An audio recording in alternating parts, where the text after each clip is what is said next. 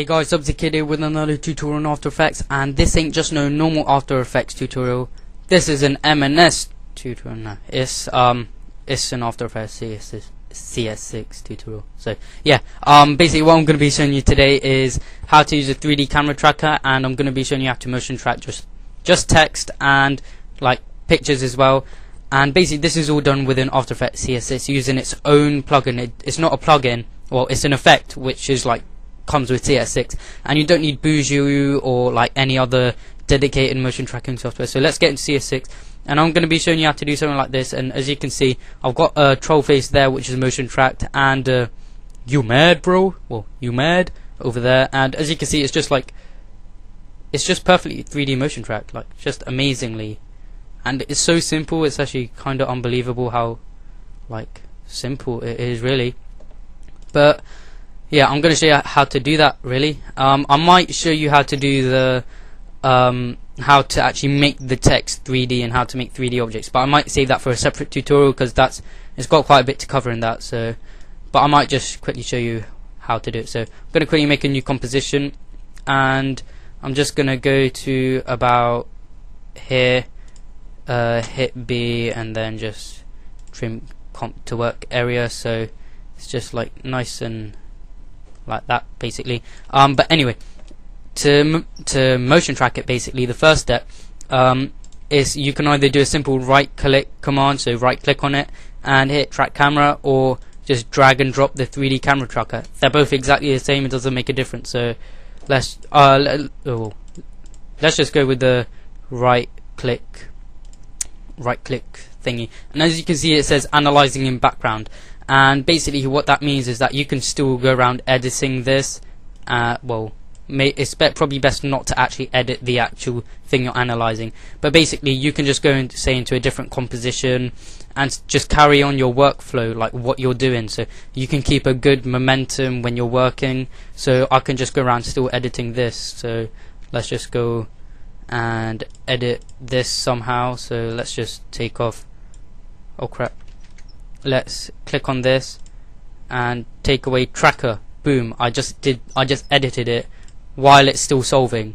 And basically it has the amount of time the percentage and what frame it's frame it's on like what it's doing in the top left hand corner in the effects tab. And on the last frame it usually lags for a bit because then it goes into the next step because as you can see step one of two. And the next step is solving the camera. Boom. And that usually doesn't take long. And as you can see these are all the track points. And let's quickly go into the effect of like the 3D camera tracker effect. And let's just quickly go through what you can like uh, what you can do here. And basically here there are some settings which you can change like if you actually know the like angle of view. Um, basically if you know it it makes it more accurate.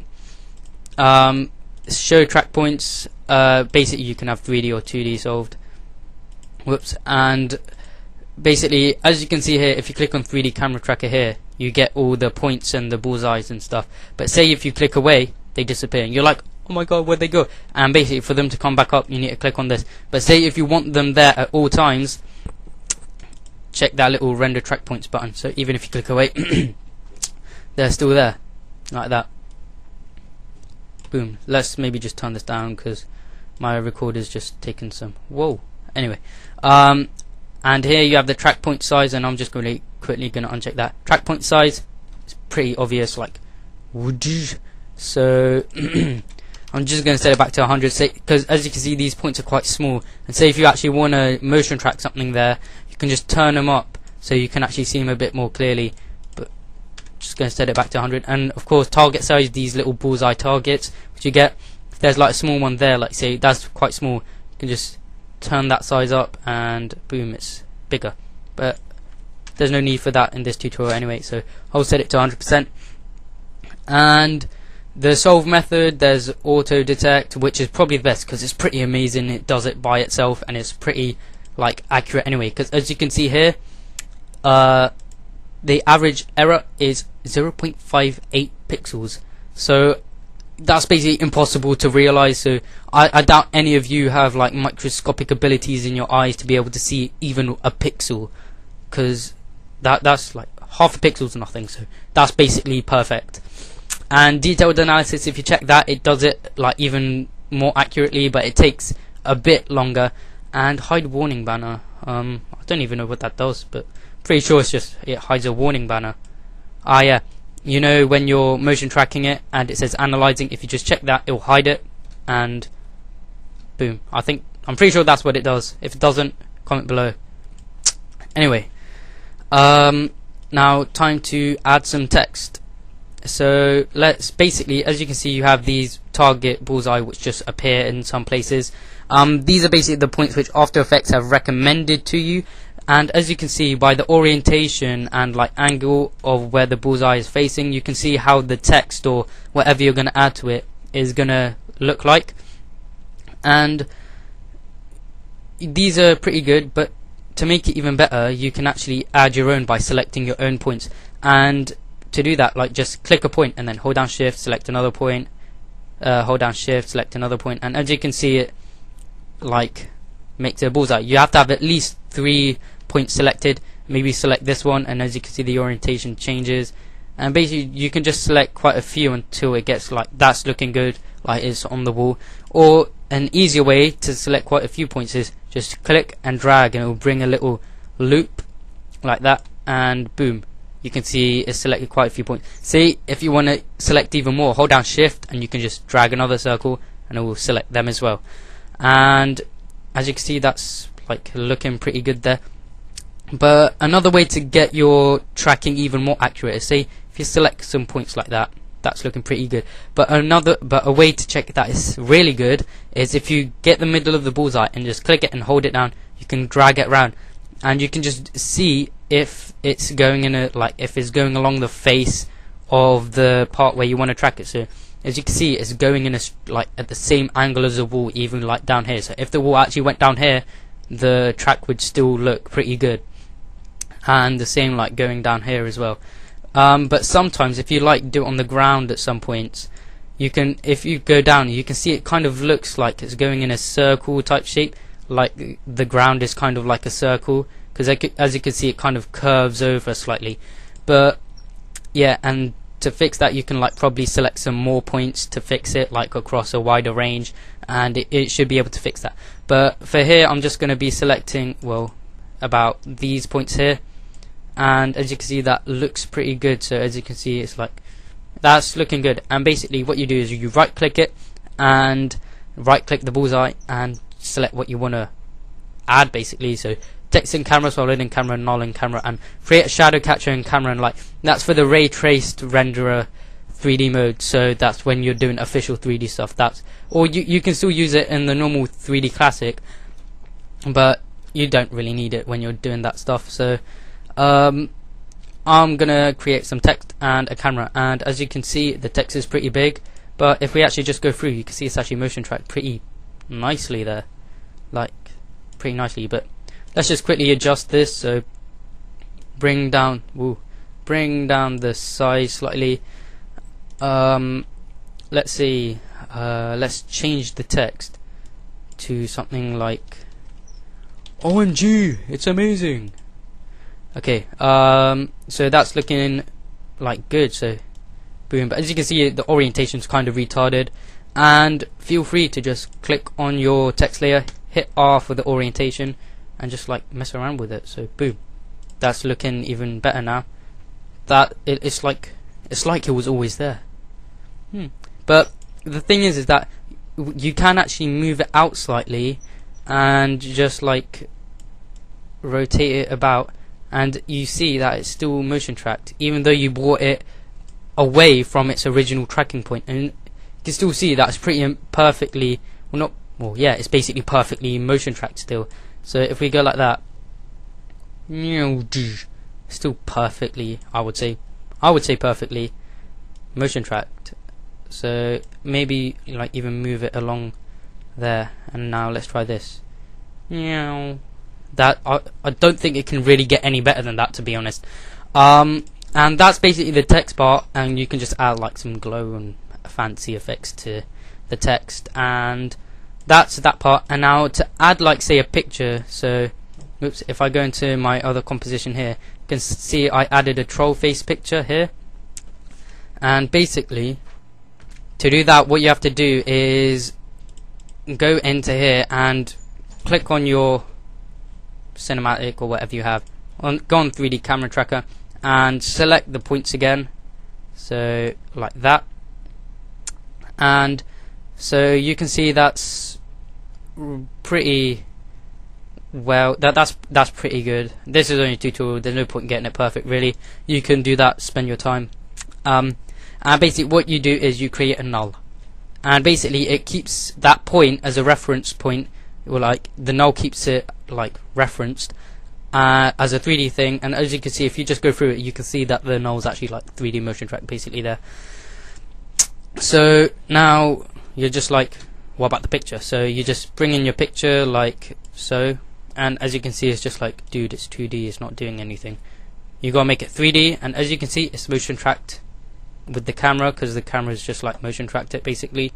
Like so but it's like dude it's not over where the null point is and basically to do that you need to parent it. But you don't just ran you do you don't just parent it like normally.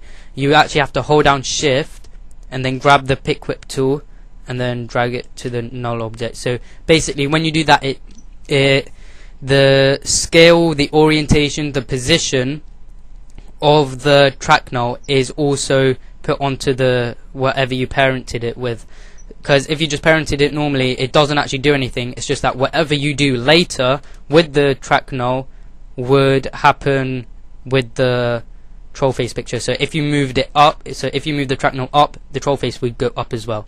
But when you do the shift and parenting it it does everything. So as you can see it's just like you know it's like there. But let's just quickly scale it down slightly, maybe even bring it down. That's looking like that. That's looking trolly. Yeah, you know, trolly. Yeah, and boom, that's looking good. And to be honest, that's basically it. Let, well, base, so, something you can do to make it look a bit more realistic is if you click on your troll face and then select the uh, ellipse tool and just basically make a quick circle or ellipse around it then click on the mask hit F and turn up the feather until it starts to fade away slightly like that. And then hit T for opacity and bring it down slightly. And then it looks a bit more like it's been drawn on. It's like dude was it always there? And then it's like you end up going on Modern Warfare 3 checking if it's there. And you're like oh shit it's not. And basically yeah. And what you can do is as you can see I did it with the text here as well. It doesn't look as good with the text though. But you can just mess around with it. And to be honest, that's about it. Uh, there's like not much else you can do, really. It's like, what else would you want to do? Um, you could like make this text 3D by going changing the renderer to ray traced, but I will leave that for another tutorial because there's quite a lot to cover in that, and yeah, I should be releasing that tutorial pretty soon or if you want another tutorial to come out first before that on some of the other effects like or just a review of like the new features there's also like some other stuff like mask feather tool. Um, the warp stabilizer is pretty advanced in this as well. Um, yeah just message me tweet me anything I'm going to be releasing like tutorials on basically everything or overviews like the global performance cache. I'll be explaining that even though there's it's not really a tutorial. It's more of a overview of it. So that's it really. Um thanks for watching guys. Oh yeah. Actually before that if you look at some point so say if I grab this text here that was pretty awkward saying thanks for watching. It's like carrying on the tutorial if if you look here, it's just like it's like in front because over here, if you actually want it to be behind the wall, it's like it's not actually behind the wall. So, oh, whoops, wrong thing.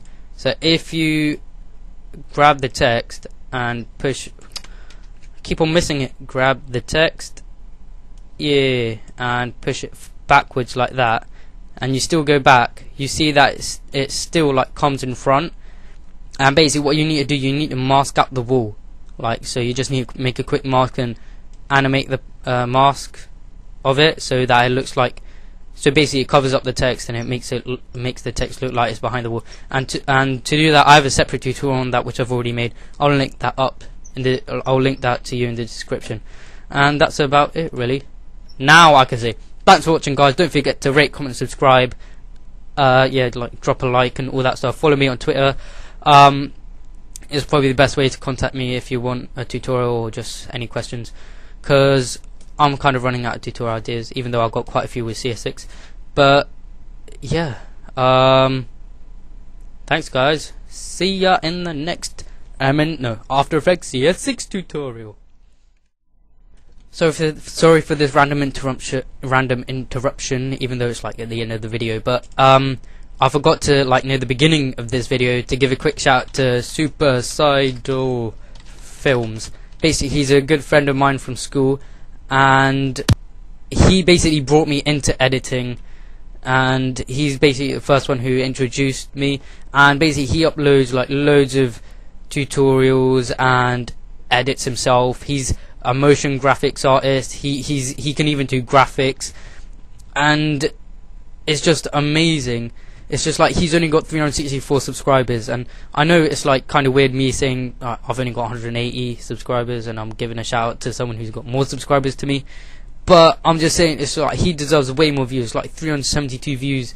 It's just like it's it's just kind of stupid how many views he doesn't have, but he deserves way more. So yeah, um, subscribe to him, be active to him.